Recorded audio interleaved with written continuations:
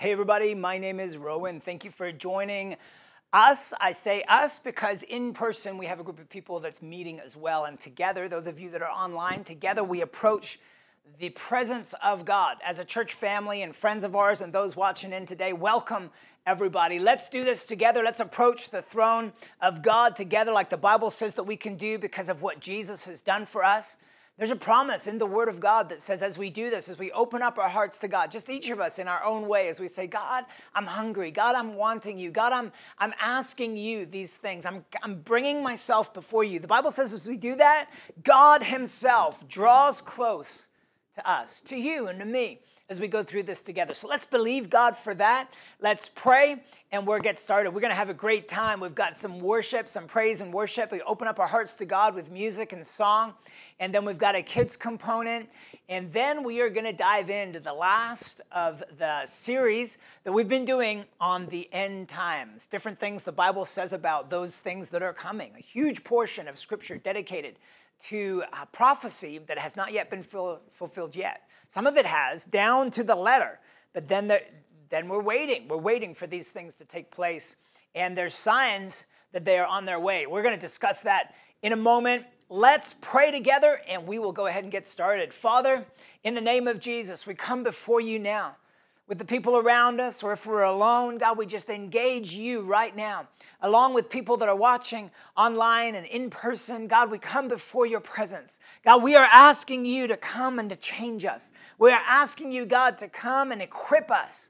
God, by your Spirit, stir in us, we pray. Father, I thank you that we can encounter you like this and we can be changed by it in Jesus' name.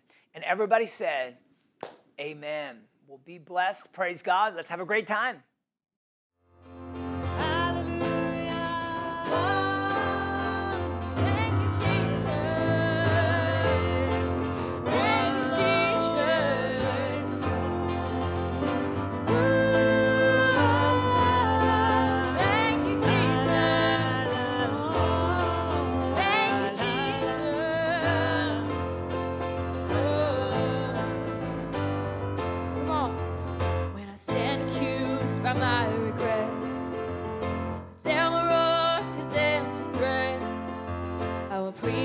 Gospel to myself that I am not a man condemned, for Jesus Christ is my defense.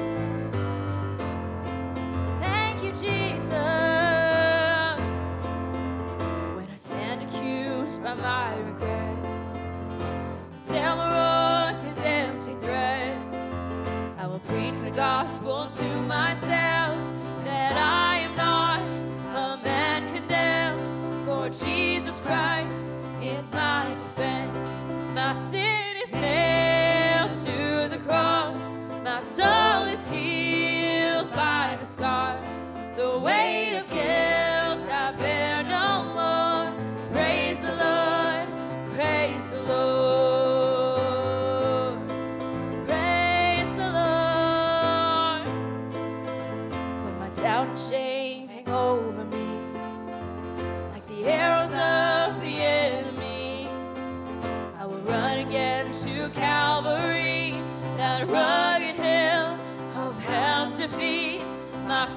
fortress and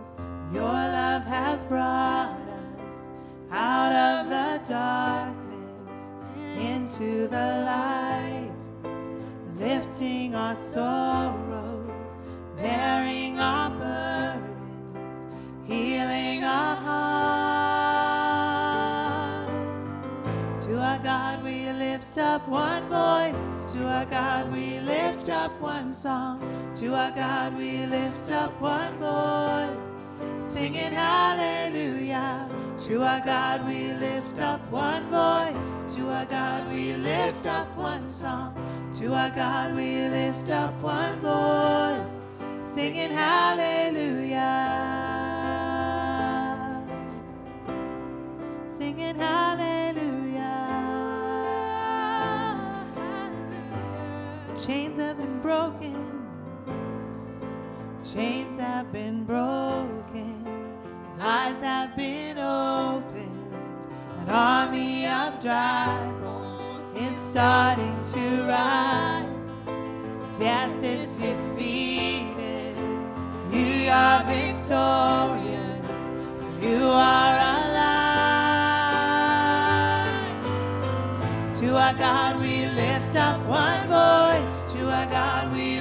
up one song. To our God we lift up one voice, singing hallelujah. To our God we lift up one voice. To our God we lift up one song. To our God we lift up one voice, singing hallelujah. Hallelujah.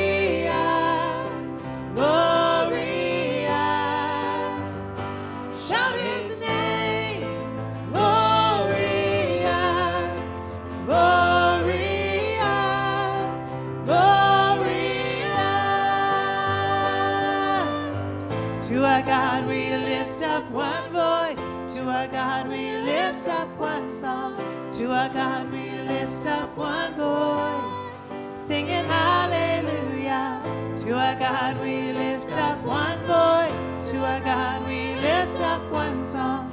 To our God we lift up one voice. To our God, to our God we lift up one voice. To our God we lift up one song. To our God we lift up one voice. Singing hallelujah. To our God we lift up one voice. To our God we lift up one song. To our God we lift up one voice. Make his praise. Make his praise. Glorious.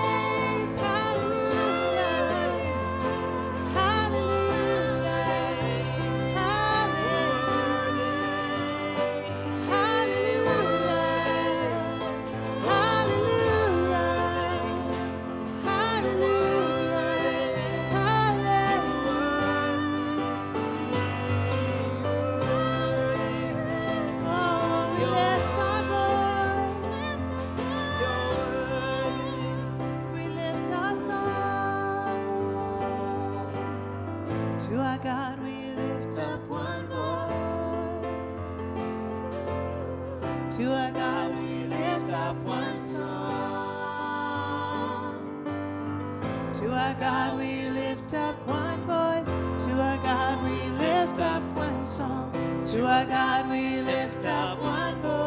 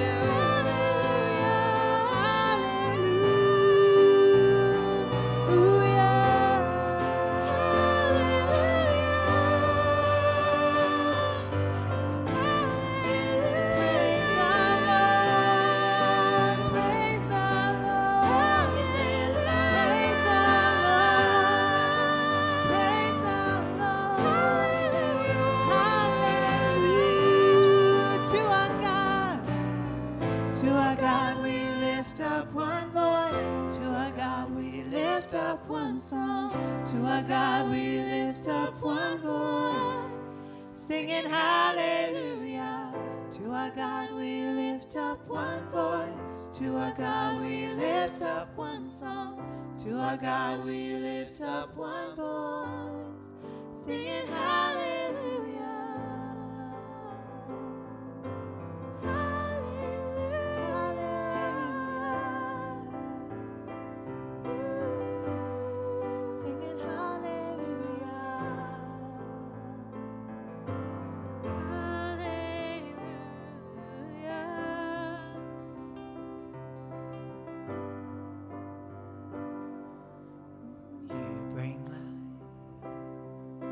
The barren places, light.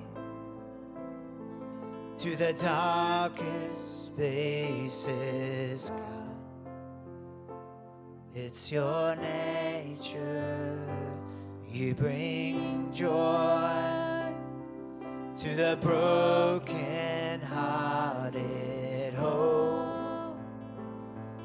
to the ones who've lost it, God. It's your nature. There is no desert that your streams can run to. There are no ruins that your love won't make new. You tell the wasteland that it will bloom again. 'Cause it's your nature.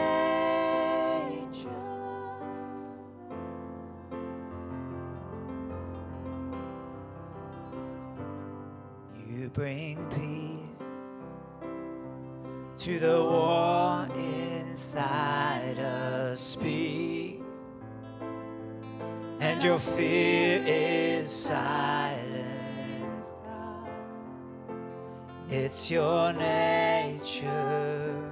You bring joy to the broken hearted hope oh, to the ones who've lost it, God. It's your nature. There is no desert that your streams can run to. There are no ruins that your love won't make new. You tell the wasteland that it will bloom again.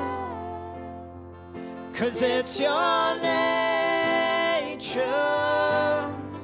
You will restore the years that shame has stolen. You keep the promises that you have spoken. I know this wasteland will be whole again. Cause it's your nature.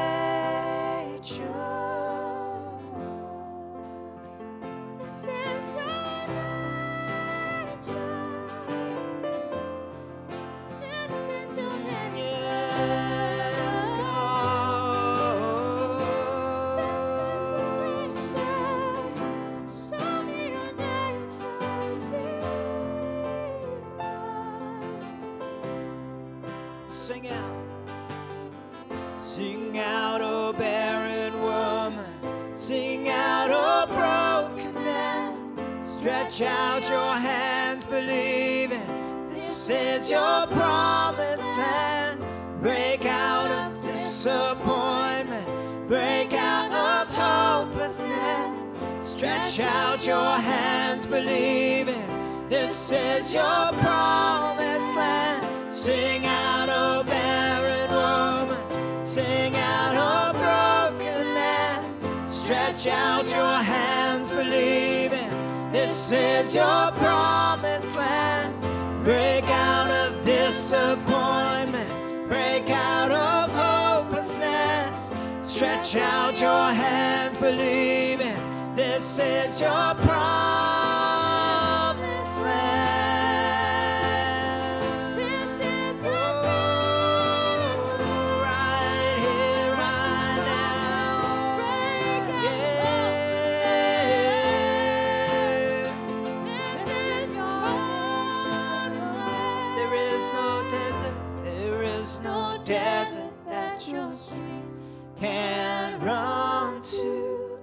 There are no ruins that your love won't make new. You tell the wasteland that it will bloom again. Cause it's your name. There is no desert. There is no desert that your streams can run to. There are no ruins can make new. You tell the wasteland that it will bloom again. Come on. Cause it's your nature. You will restore. You will restore the years that shade has stolen. You keep the promises that you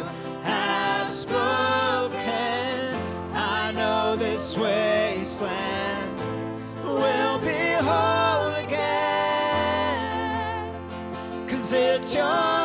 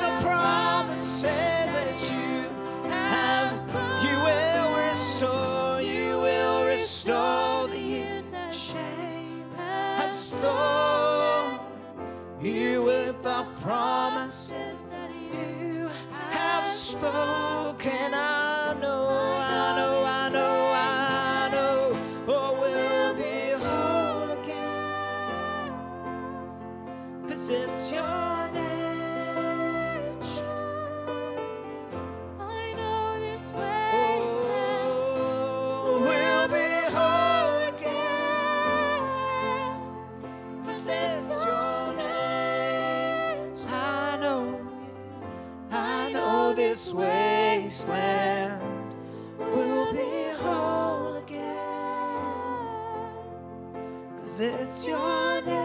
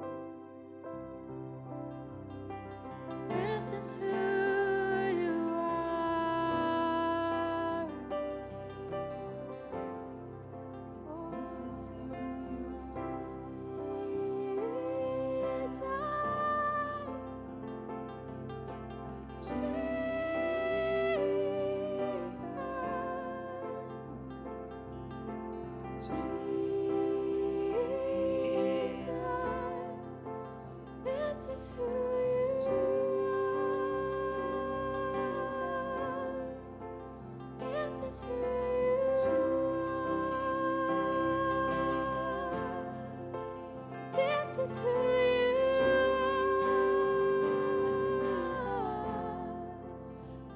is who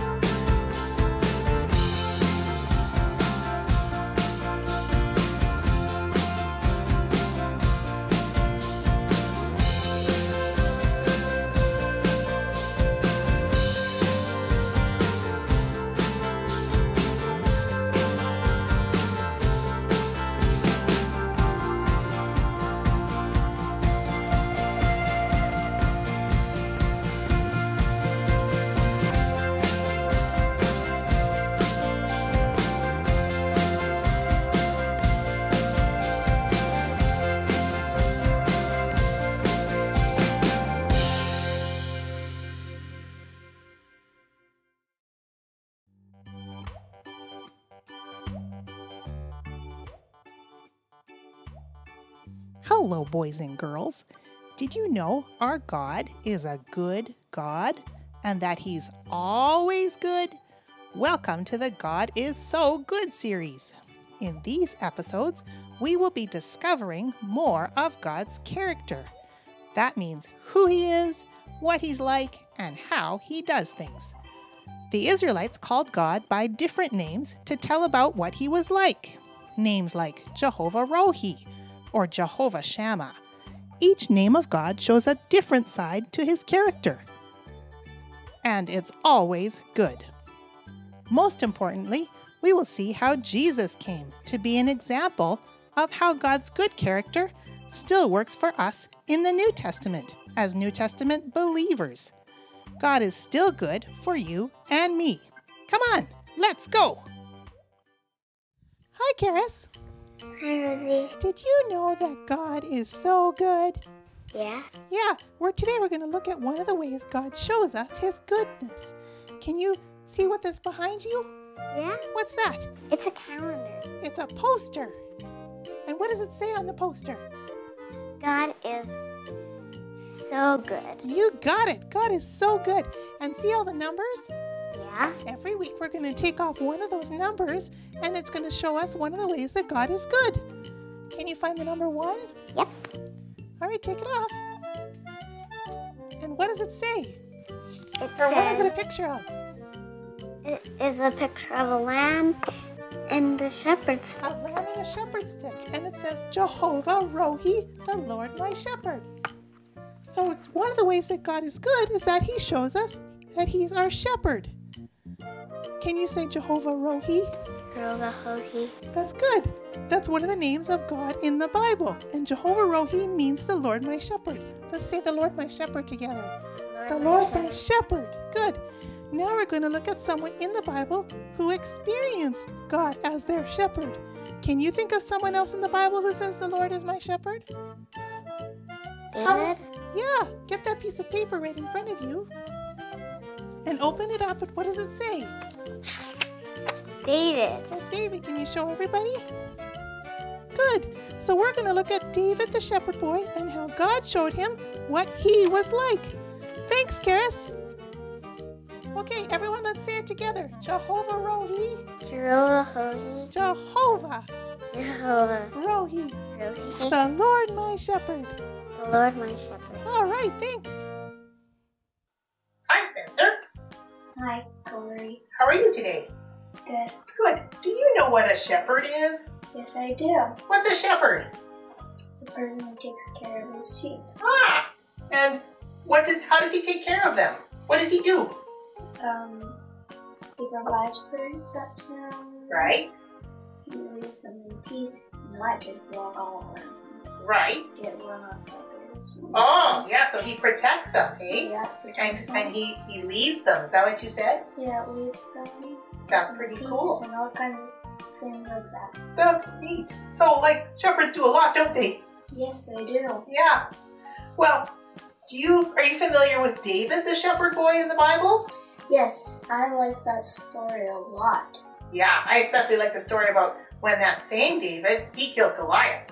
Yeah. Who would know that the little shepherd boy would would, would kill a, a whole big giant like Goliath? Yeah, That's amazing. David was a shepherd boy, a king, and a Goliath king. That's right. All right. So David was a boy who took care of his father's sheep. He was the youngest brother, and so as his older brothers grew up, they went to be part of King Saul's army, and David was left with the sheep. Yeah. He had a lot of opportunity to look after the sheep and learn how to take care of them really well, didn't he? Yes, he did. Yeah, like all those things you just mentioned. What were they again? What did he do for all those sheep? Provide for them, Provide, give them peace. give them peace, mm, protect them, Protect them, yes. and lead them, right? Yeah, That, them. that's great. All right, so he took care of the sheep, and David learned as he did that that God wanted to take care of him, just Yeah. in the same way that he took care of his father's sheep. And as a matter of fact, he even wrote a psalm about that. Yeah. Do you know what what psalm that is? Um, Psalm 23. the Lord is my shepherd. You got it. That's fantastic. All right, so David just understood how God was his Jehovah Rohi. Can you say that? Jehovah Rohi. The Lord his shepherd. Yeah. God could- took care of David his whole life. He protected him when he fought Goliath. He guided him when he was king over Israel. And he gave him rest from all his enemies, too. He protected him. God was totally Jehovah Ro- Rohi to David. Wasn't that good of God? Yes, it was. He's Hey. also Jehovah Rohi to us. You got it. Isn't he so good? Yes, he is. He's so good. Yeah. Nathan, more than you can imagine. That's great. Well, thanks for helping me tell the story, Spencer. You're welcome. Hello, Karis. How are you today? Hi, Tim. Are you good? Yeah, Oh, good. Hey, do you like my outfit? yeah. It looks like a shepherd. Oh, good. That was exactly the look I was going for. And why do I look like a shepherd? Well, I'll tell you why. I'm here to tell you about one of the names of God, Jehovah Rohi, the Lord my shepherd. Can you say the Lord my shepherd? The Lord my shepherd. Good. Hey, do you see my name? Yeah? What does my name say? David. David. That's right. David knew that God was his Jehovah Rohi, the Lord his shepherd. And we can know God is our shepherd too, can't we? Yeah. Yes. Can you help me with the memory verse? Yeah? Great. It's John 10 11. John 10 11. I am the good shepherd. I am the good Shepherd. The good shepherd The good shepherd gives his life gives his life for the sheep. for the sheep. That's right. Okay, Jesus said that. And who are Jesus' sheep, Karis? Us. Us. That's right. And how did Jesus give his life for us? He died on the cross. Very good. You're so smart. Oh, perfect. All right, let's say it again, but how about we sound like little sheepies this time? Okay. Sure, you just have to say ba ba after each part of the verse. Okay. All right, John 10 11. Ba ba. John 10 11. Baba. I am ba ba. I am Baba. The good shepherd. Ba ba. The good shepherd. Baba. And the good shepherd ba ba And the good shepherd. Baba. gives his life ba ba Gives his life. Baba. for the sheep. Ba ba. For the sheep. Baba. Ah, thank you. You make a great sheep, Karis. Thanks, Tim. Hey, Spencer. Hi, How are you today? good. I, how about you? I'm great. I wonder what's in this beautiful chest. Well, I know it's something that reminds us about how good God is. Why don't you open it and find out? Yes, it would definitely be about that. I'm a little sheep. Oh, it's a little sheep. I'm a little sheep too. Two little sheep. Now, why would ah. sheep remind us about how good God is? We're sheep to God, and God is sheep. I mean, a shepherd to us. That's right. God is Jehovah Rohi, right? Yeah, Good. Virgo. Well, you're pretty smart, Spencer. Yeah, thanks. You are too. Thanks. So, just like God was David's shepherd, Jesus is our shepherd today, isn't he? Yes, he is. Yeah. And what does it mean that he's going to do for us as our shepherd? Well, whatever a shepherd does. And so, what does a shepherd do? Provides us, gives us peace, leads us in the paths of righteousness. Hey, you're saying Psalm 23, aren't you? Yes, I Yeah. am. The Lord is my shepherd, and I shall not want. That means he provides for us. Yeah. Yeah, he makes me lie down. And green means he gives us peace and green pasture. That means he, he makes sure we have enough to eat. Yeah. Yeah, Yes, stuff like that. all that kind of stuff. That's Psalm 23 that David wrote because he understood that God was his shepherd, right? Yeah, shepherds sure do a lot for sheep. They sure do. So, if Jesus is our shepherd, how should we respond to him? Well, Lots of ways. yes, lots of ways. Do you know what I really mean when I say that? Mhm. So, if Jesus is our shepherd, do we ever need to feel afraid? No, we don't, How come? Because he. He protects us and he's always with us. Yeah, That's right. Just like the shepherd is for his sheep. yeah. And if Jesus is our shepherd and the Holy Spirit asks us to give things away, will we ever have to be afraid that we'll run out and we won't have enough? We do not want to do that. Well, if Jesus asks, if God asks us to give things away, do we have to be afraid that we'll run out of things? No. No, why not? Well, because. Because our shepherd will provide, provide. for us. That's yes, right. Provide. Okay. And if you don't know what kind of decision to make, can we ask Jesus for help? Yes, we can. Always. How come? Why? Well. Because he leads us and guides us, right? Yeah. Just like a shepherd does. So now do you understand what I mean about responding to Jesus as Jehovah Rohi? Yeah. Good. And doing these things, boys and girls, is what it means to follow Jesus.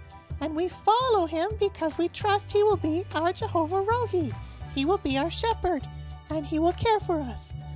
And why will Jesus be our shepherd, Spencer? Because Because he is so, good. That's Epic. Amazing. Perfect. great. So, can we say Jehovah Rohi, the Lord my shepherd, one more time? Good. Jehovah Rohi, the Lord my shepherd. Okay, boys and girls, you say it too. Jehovah Rohi, the Lord my shepherd. All right, thanks, Spencer. You're welcome, Rosie. Well, boys and girls, now we know more about how good our God is. God was good to the Israelites in the Old Testament, and he's still good to us today. And remember, Hebrews 13:8 says Jesus Christ is the same yesterday, today, and forever. And that means he's good to you too. If you've never done it before, invite Jesus to be your Lord today. Just say, Jesus, come and be my Lord. Wash my heart clean and let me know your good plan for my life. And He sure will, because God is so good.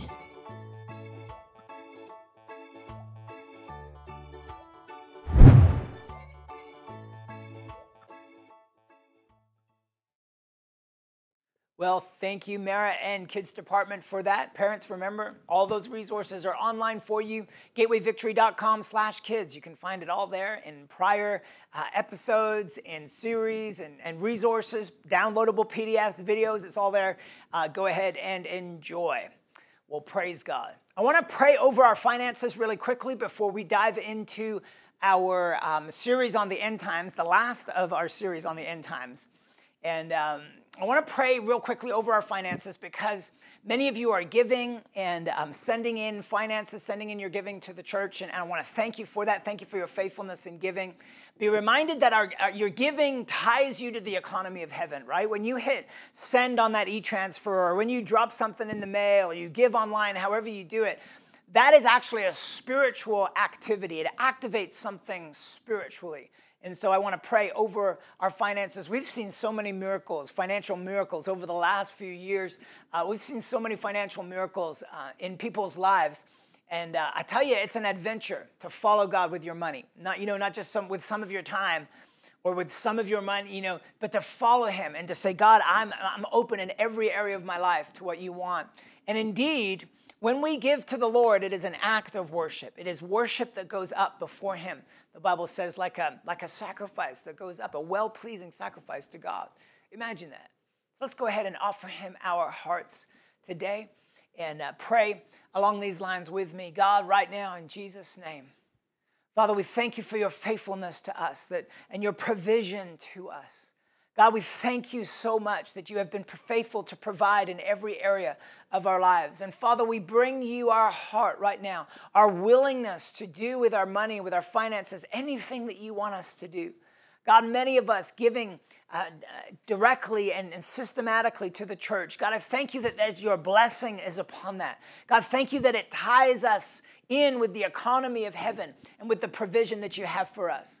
And so, Father, right now in Jesus' name, we ask you for jobs and better jobs. We ask you, Father, for unexpected streams of income. Father, we thank you for these things now. We thank you for your provision over us in Jesus' name. Everybody said, Amen. Praise God. It's good to pray over our money, isn't it? Hallelujah. Well, we've been talking quite a bit about the end times, about different things the Bible says about prophecy. Just one last time, by way of reminder, we're doing this so that we can learn a little bit more about what the Bible says about the things that are to come. right? I mean, this is a this is a very in-depth topic, and we don't want to be overwhelmed by it. We just want to know a little bit more, and then a little bit more, and then a little bit more. And so I hope you've gotten some of these scriptures circled and outlined in your Bible. I hope you've taken some notes, and feel free to go back and get our prior services on this all the way through the month of July. But it's been good. It's been good for me. It's been good for your pastor just to study some of these things and to and to look them up and to read what other people have said about them. But um, today, what I want to do is I want us to go to the book of Daniel in the Old Testament and look at some of the incredible prophecies that, that were spoken through him about the things that are yet to come. So, this is the book of Daniel in the Old Testament, and um, many of you know this, but Daniel was um, part of Israel, obviously, and uh, the, the, Babylonians came and um, captured Israel and took them off into exile. And Daniel was about 16 years old when this happened, and he um, rapidly became um, a very, basically, a government worker and a politician and a prophet in, um, in exile in Babylon, which is really, really quite something. Um, his life and his ministry spans the entire, uh, the entire 70 year period of, uh, of captivity in Babylon. And so this man was incredibly equipped by God to, to, see, to see visions and to experience an interpretation of them or interpret other people's visions. And it's really quite amazing some of the things that he came up with because, like we've been saying, there are prophecies that have been fulfilled right down to the letter, and yet not all of them. And so, partway through, we're like, you know what? We're waiting for this next piece. It, it hasn't happened yet. And as a student of Scripture and as someone that follows the Lord Jesus Christ, we need to be aware that the Bible speaks expressly of things that are yet to come and what they may look like. And uh, of course, you know, it's, it's human nature, and I, I, believe God wants us to do this, to, to, to put them on timelines and to try to figure out, God, what are you saying here? How is this going to happen? What is this going to look like? Right? And, and, and it's important for us to do some of these things, but a word of caution on this. We must do it with a spirit of humility. We must do it with the, the willingness to be wrong we must approach prophecy. We must approach these things with God. We, we don't see it all clearly. And so, God, show us what you want us to get out of this. And of course, through this whole series, we've been looking at this. These things are encouraging to us, these things give us a perspective, and these things give us hope. And I believe that those things have been building in us as we've gone through this. I just want to make mention of this uh, before we look at Daniel. So, if you look in, you don't have to go there right now, but if you look in Matthew uh, chapter 2, you see some prophecies that are outlined here about Jesus coming. And so, prophecies from the Old Testament about Jesus and about what Jesus' origin would look like. And you can see in, uh, in Matthew chapter 2, there's a prophecy about Jesus, about how he would, how, how he would come out of Bethlehem. And there's a prophecy about Jesus about, about how Ramah, you know, a small little town outside of Jerusalem, would be, um, would be instrumental in, uh, you know, would be uh, associated with, with the Messiah coming forth. There's a prophecy in the Old Testament about Jesus coming up out of Egypt. Interesting, right? I mean, it sounds contradictory. Is it Bethlehem or is it Egypt? And there's another prophecy about um, Jesus uh, coming up out of, of, out of Nazareth. Isn't that something? And so you can imagine, you know, being a student of prophecy before Jesus came, thinking to yourself, where and when is he going to come from? Like these, how is it that, you know, and, and different people looking at these prophecies and saying, you know what, there's actually four messiahs, you know, or, or other people looking at it and saying, you know, this is all allegorical. Like we don't, you know, this, these are all just like names of places that have deeper meanings. And so it's Jesus coming up out of this and, and, and, and his origin being made up of that. You can imagine that there were students of Bible prophecy, you know, before these things actually took place, that would be that would be saying, you know what, um, it's, it's not you know it's, it's allegorical. It's it's um, uh, you know the, there, there would have been some that would say that these things have already taken place. You know, Jesus came up out of Egypt. This is Moses. You know, it's the Messiah Moses. It's the rescuer of God's people. That's what it's speaking about. I mean, it's already fulfilled. There's nothing left in this for us. You can imagine students of prophecy would have looked at those, those scriptures and would have been trying to piece it together. Maybe they put it on a static timeline. Maybe they drew charts and graphs and, and you know, tweeted it out there, you know, just for other people to comment on. Maybe, maybe they had it all, you know, but if they weren't careful, they would have missed the real thing when he came along. Of course, we know this, you know, looking back, we know that Jesus was born in Bethlehem. And you remember why, right? That Caesar, um, you know, the, uh, wanted to take a census. And so, you know, so Jesus was born in Bethlehem. You know, Ramah was associated with Jesus' birth because it, it, it, it's right outside Jerusalem. And, and Herod had ordered the massacre of the innocents, as it's called, trying to get rid of this one that was born king. And uh, you can see that that actually came true.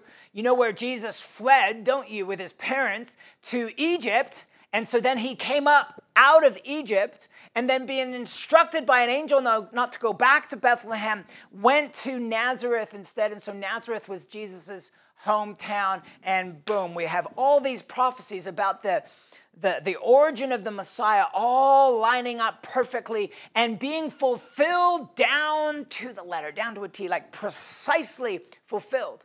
Although, can you see this with me?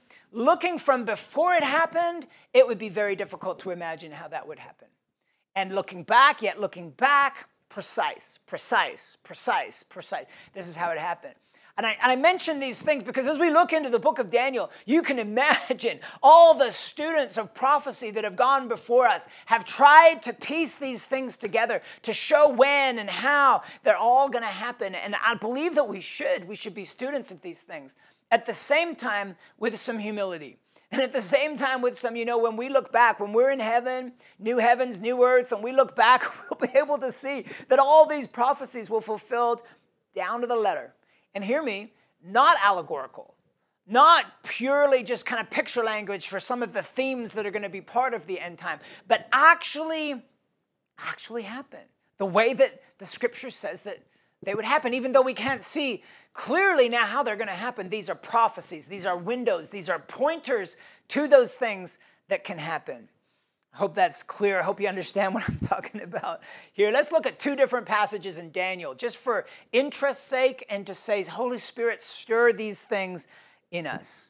Some of you know, we're not going to get into the whole story here, but some of you know that Nebuchadnezzar, the Babylonian king in Daniel's time, had a dream, and then he insisted that his, um, you know, magicians and sorcerers and, and people in the court, the wise men there, that they would, they would interpret the dream, not only interpret it, but state the dream to the king and then interpret it.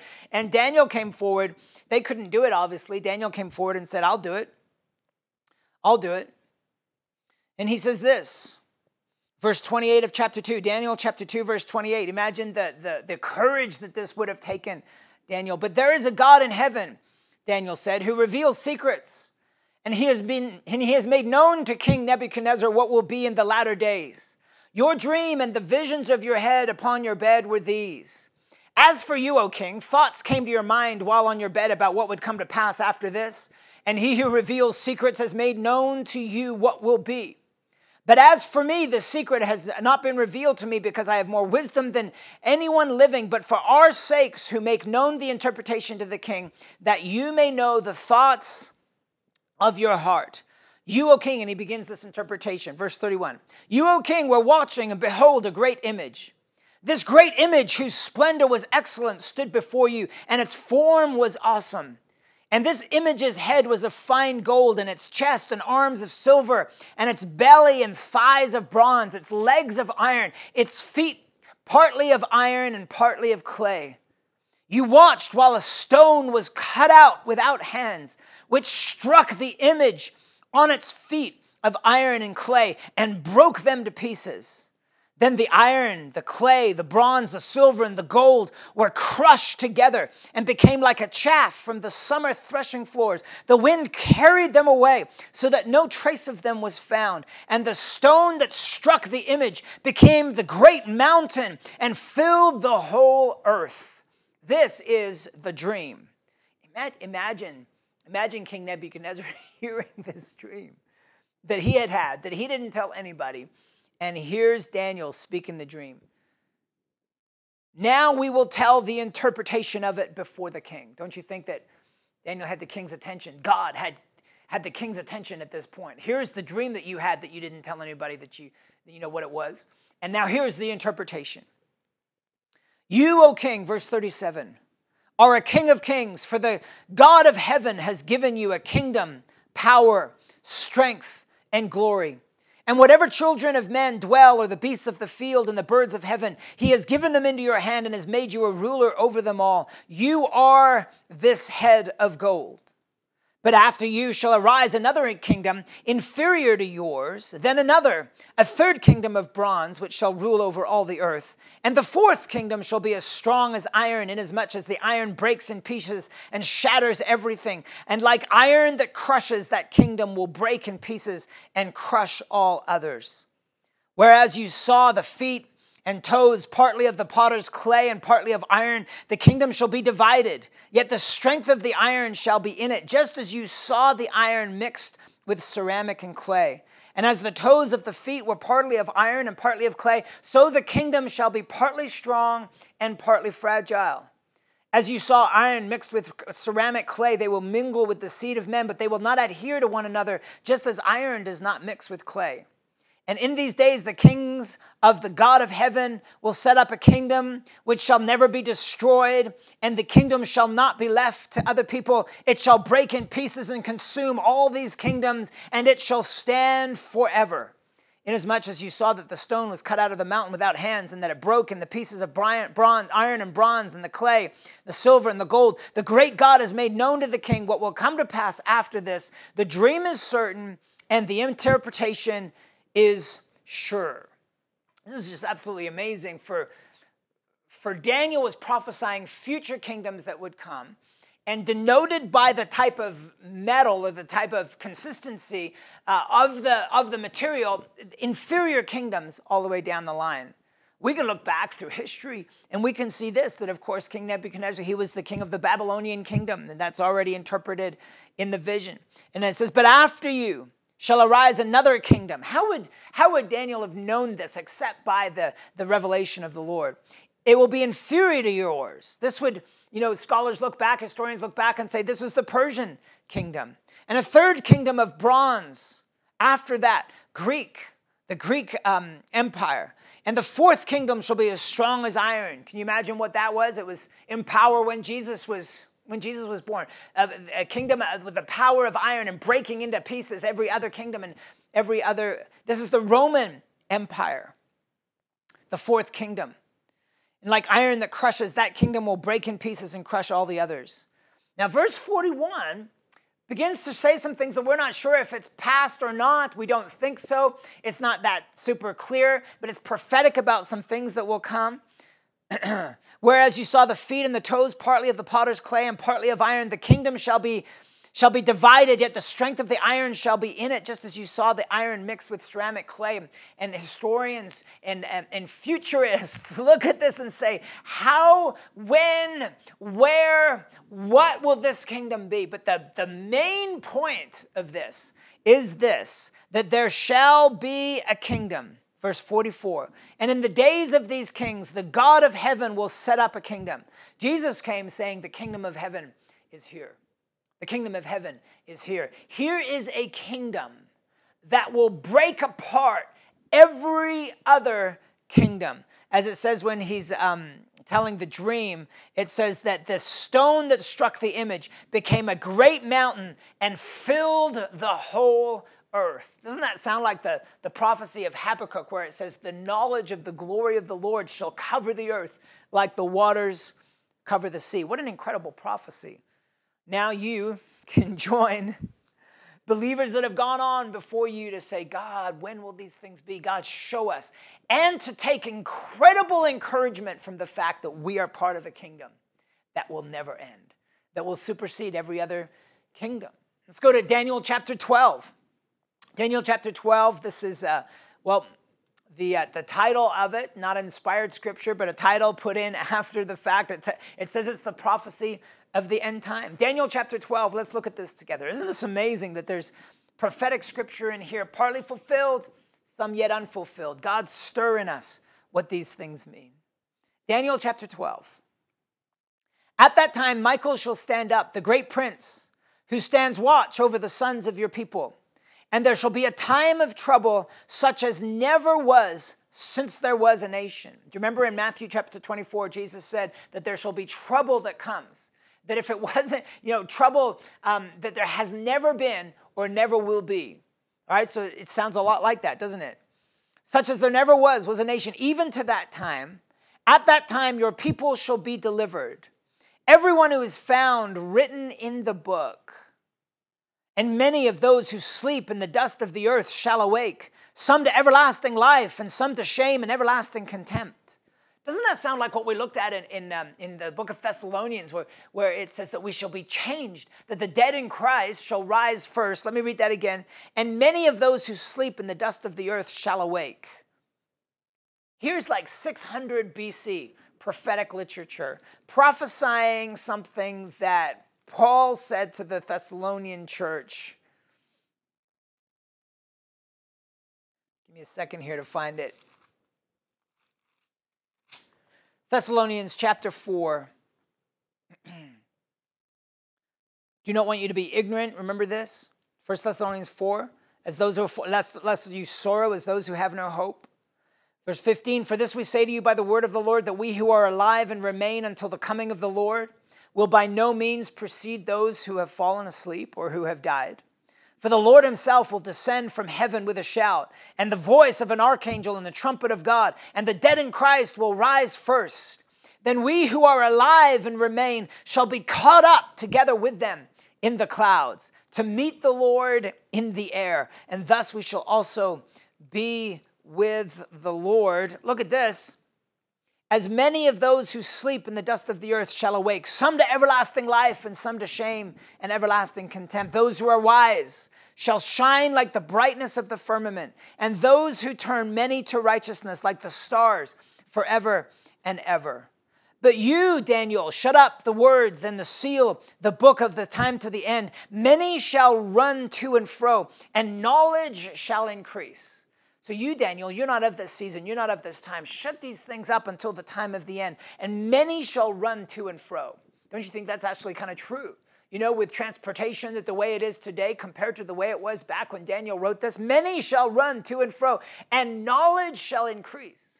You know this, they call our age the information age. Isn't that right? I mean, the, the, the increase of knowledge and the advancements in technology and science and in every single area of, of development, knowledge shall increase. Then I, Daniel, verse 5, looked and there stood two others, one on this riverbank and the other on that riverbank. And one said to the man clothed in linen who was above the waters of the river, How long shall the fulfillment of these wonders be? Then I heard the man who was clothed in linen who was above the waters of the river when he held up his hand and his left hand to heaven and swore by him who lives forever that it shall be for a time, times, and half a time. And um, people that study eschatology, the study of the end times, they say that this is a time, a time, and then half a time, right? For a time, times, and half a time. And the holy, and they, they, they allot the specific periods of time to this. It can be really quite interesting, especially when you match it up with verses in Revelation that seem to talk about the same kind of time periods. And when the power of the holy people has been completely shattered, all these things shall be finished. Although I heard, I did not understand. And then I said, Me too, right? And then I said, My Lord, what shall be the end of these things? And he said, Go your way, Daniel, for the words are closed up and sealed until the time of the end. Many shall be purified and made white and refined, but the wicked shall do wickedly, and none of the wicked shall understand, but the wise shall understand. And from the time that the daily sacrifice is taken away, and the abomination of desolation is set up, there shall be 1,290 days. That's pretty, pretty specific. Remember Jesus? He talked about the desolation, the abomination. The, he talked about the abomination of desolation. Remember Jesus talking about that? And you can see how there was a fulfillment of that in 70 AD. But this is perhaps talking about a future fulfillment of this, where the, the actual Antichrist will, it's like the man of lawlessness, as the Bible talks about, will set himself up in the temple of God. And from that time, from the time that the daily sacrifices is taken away, and the abomination is set up. There shall be 1,290 days. But blessed is he who waits and comes to the 1,335 days. But you, go your way till the end, for you shall rest and will arise to your inheritance at the end of the days. What do these things mean? I believe that by the Spirit of God, we're meant to mull them over, meditate on them, and see them as God's prophetic, prophetic fulfillment. And go ahead and learn about them and, and figure out what other people have said about them and ask the Holy Spirit to reveal to you. I don't know, but I don't know you, I want to be like Simeon, who, who saw the Messiah, the infant Messiah, and he knew in his heart these things that were happening. I want to be like that, where I know in my heart what is going on and understanding the times that we are in. But like I said, I mean, we don't see it clearly. We have to put these things together as they happen and be encouraged by these things as they are spoken. I want to end these, this series with a passage in Revelation. Revelation chapter 12. I know we're reading a lot of scripture here, but I want it to speak for itself. Remember, these are things that um, we can look into and see by the Spirit and be encouraged by.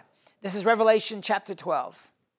Now a great sign appeared in heaven a woman clothed with the sun, with the moon under her feet, and on her head a garland of 12 stars. Then, being with child, she cried out in labor and in pain to give birth. And another sign appeared in heaven Behold, a great fiery red dragon, having seven heads and ten horns, and seven diadems on his heads.